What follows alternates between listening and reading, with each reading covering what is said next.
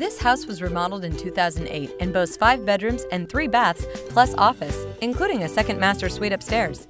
The home features a fabulous great room concept with high ceilings and French doors that open to the backyard, which is ideal for indoor and outdoor living. There are amazing finishes and details throughout. The stunning master suite has a large walk-in closet, plus a master bath with jetted tub and radiant heated floor. Teresa Olson and Susan Olson can tell you more.